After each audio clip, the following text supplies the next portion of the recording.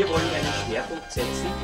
Geschäftsführer von Human Business, Management Werkzeug und äh, wir haben uns gedacht, dass wir zuerst eine ganz kurze Runde machen. Wie kann ich die Mitarbeiter halten? Es ist ganz, ganz wichtig für uns. Und über diesen Weg dann wieder Motivation in der Mannschaft zu erreichen.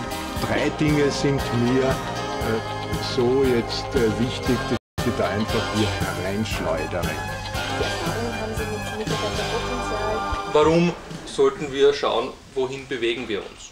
Das Einsatzgebiet ist durchaus in, jeden, in jeder Abteilung eines Unternehmens vorstellbar. Umgekehrt gefragt, ich könnte mir nicht vorstellen, dass es wo nicht einsetzbar ist. Ich finde es als sehr modernes Tool, äh, das sehr gut zu modernen IT-geleiteten Steuertools passt. Also mir gefällt dieses Produkt extrem. Es ist optisch sehr ansprechend. Es, du kriegst sofort ein Feedback.